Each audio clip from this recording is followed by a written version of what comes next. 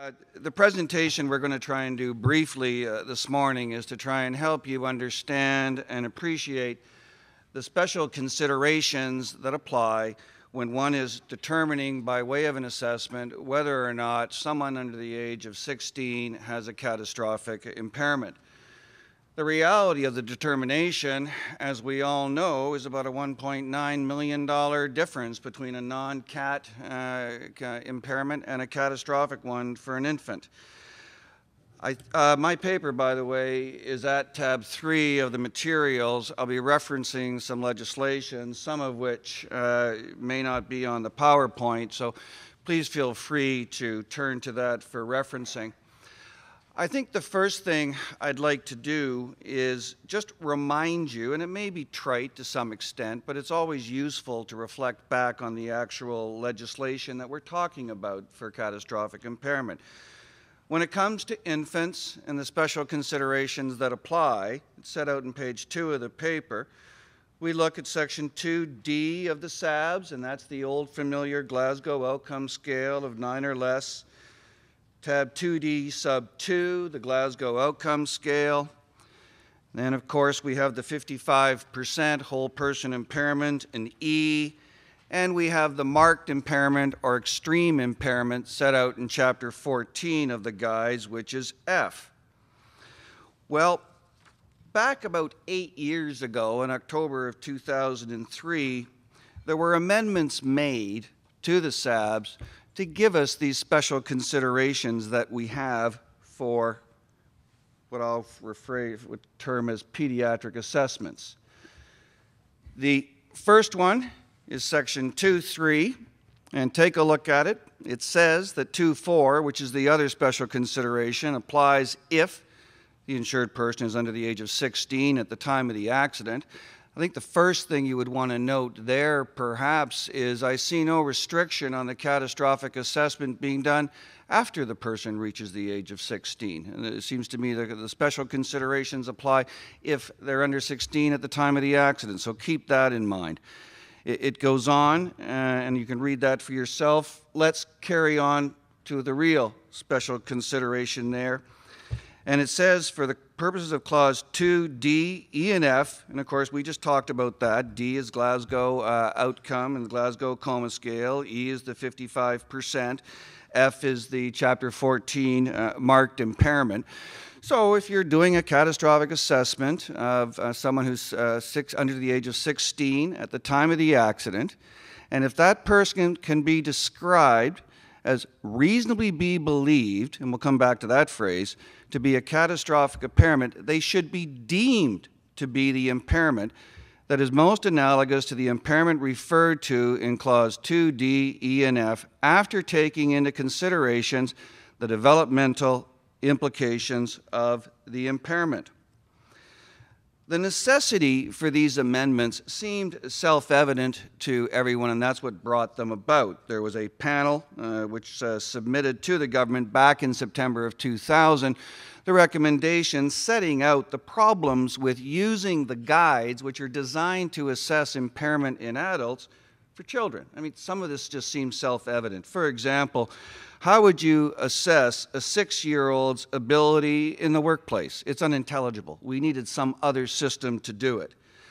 Also, I'm looking around the room here and I'm seeing uh, people that are well aware of the fact that children grow into their brain injuries.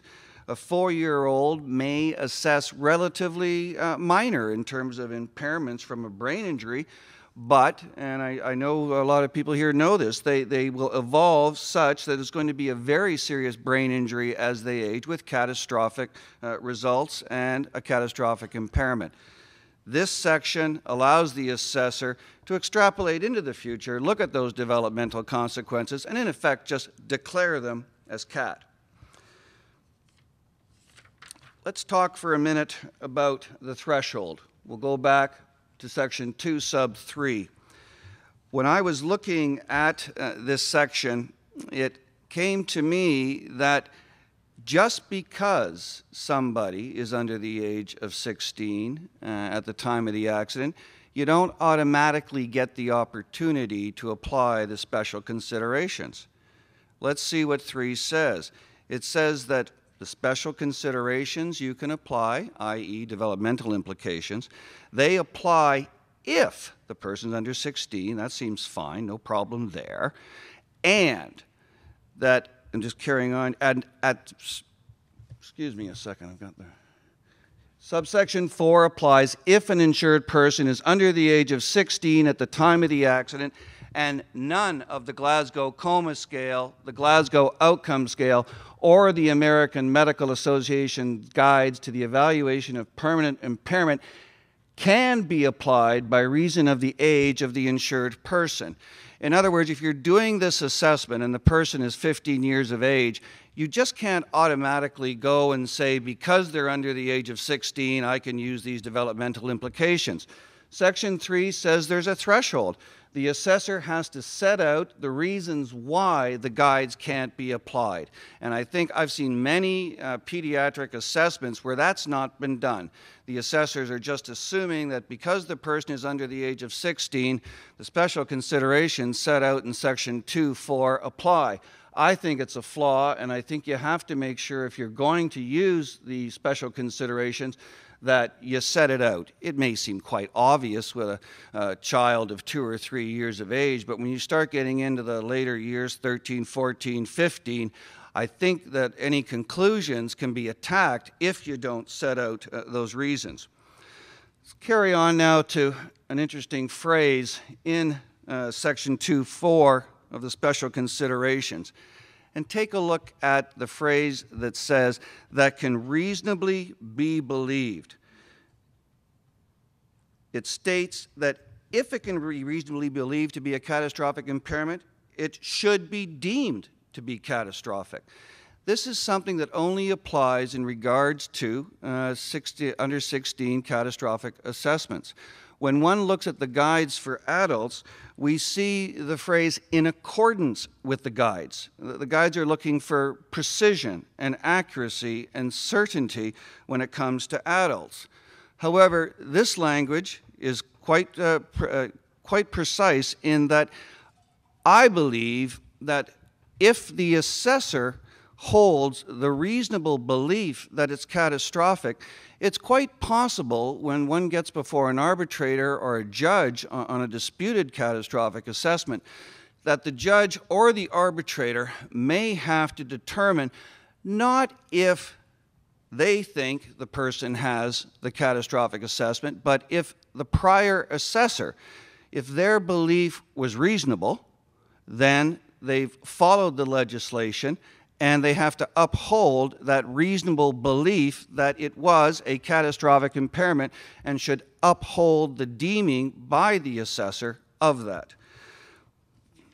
One of the things that uh, I noticed quite quickly when I decided to do this uh, topic was that we've had this, uh, these special considerations now uh, for going on eight years, and the Financial Services Commission and the superintendent of insurance have provided no guidelines whatsoever on how these special considerations are to be applied. Uh, they've given us no uh, procedure and they've given us no protocol.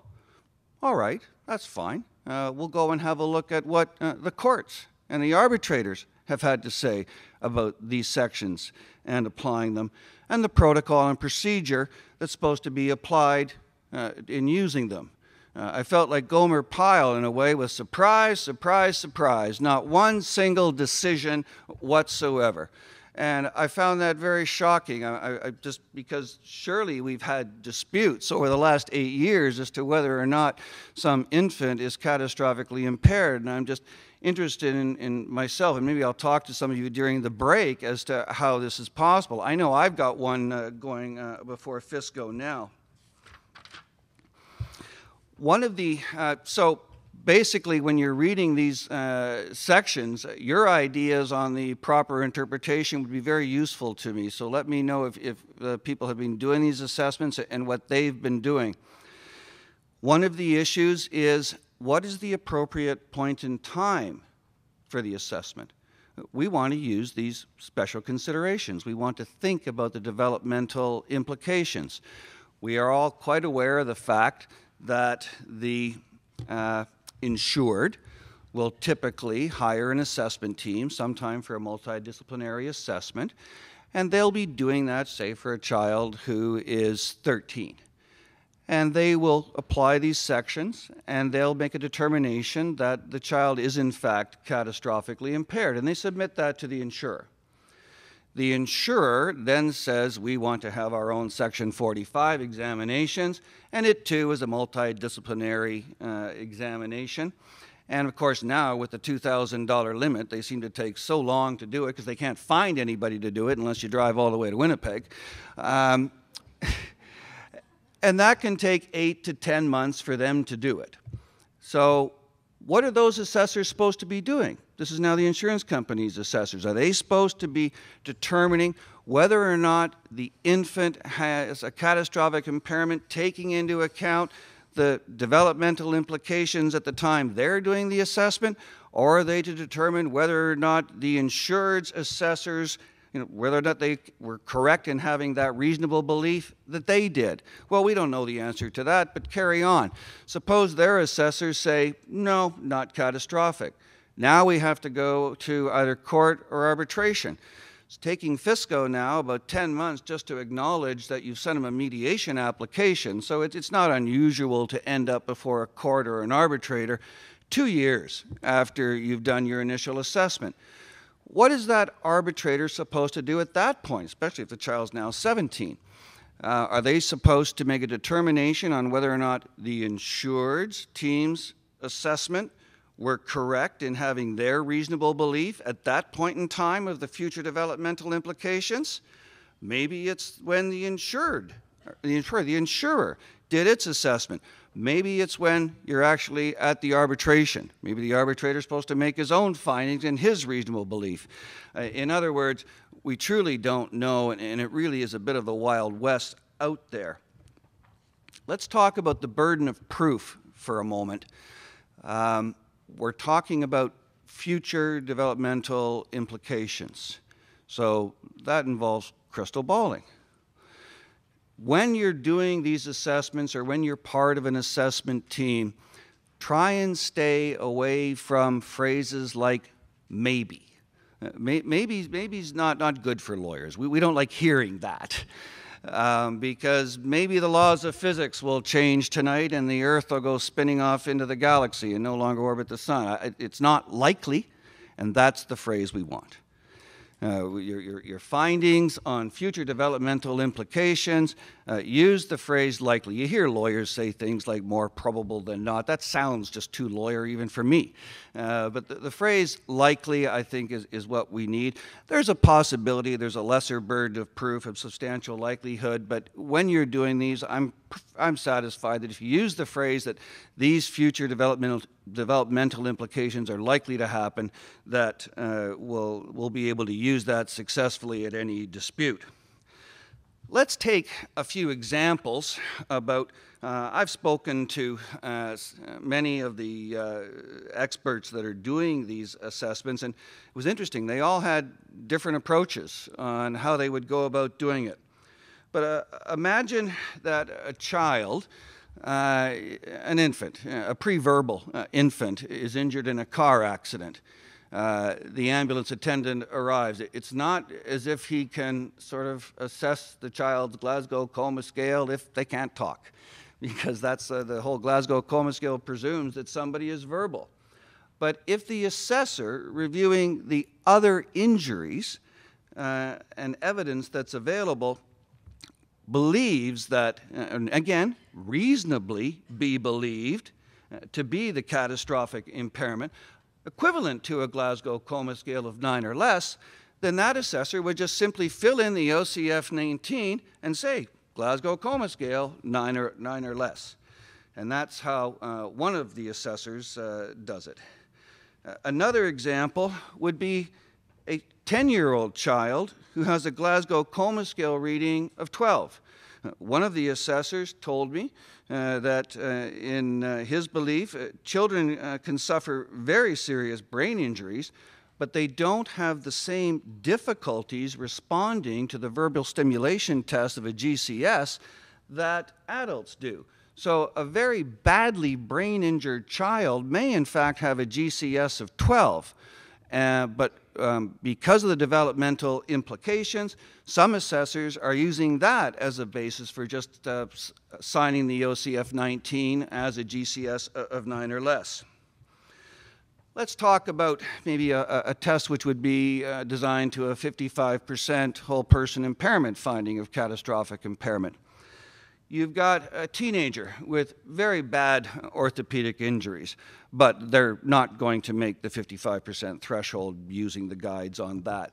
But the child's growth plates, the bone plates, have, have not yet completed uh, finishing their growth.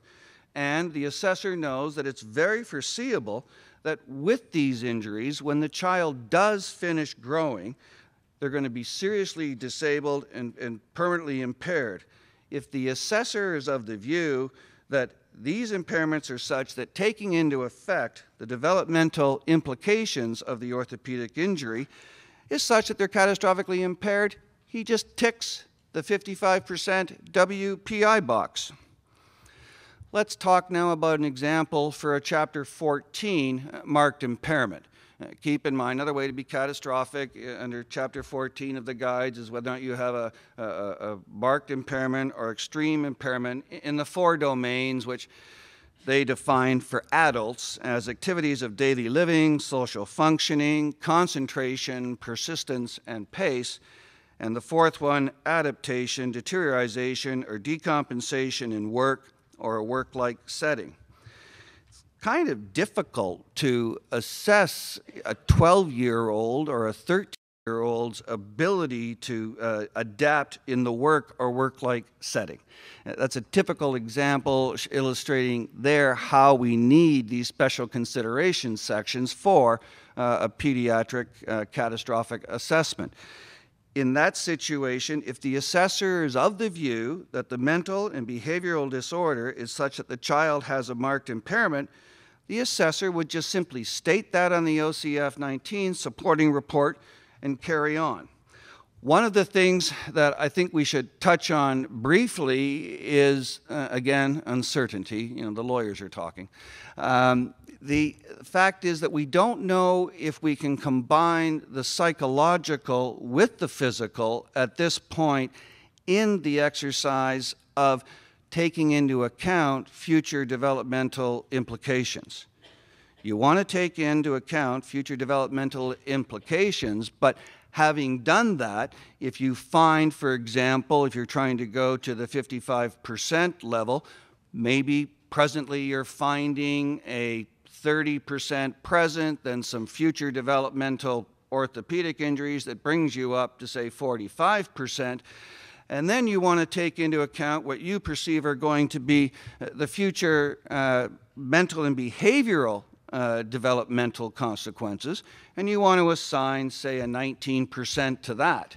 Now, we're still we're stuck now with what Darcy was talking about a minute ago, and that's the uncertainty between Desbiens and Kusnierz. Can we or can we not combine those? So be aware of that uncertainty. Um, the uh, Lee Samis uh, for the defense argued that case, and he told me that it's going up to the divisional court uh, in November, mid-November. So hopefully we'll uh, have uh, an answer to you on that shortly, and uh, stay tuned to the website. Um, thank you very much.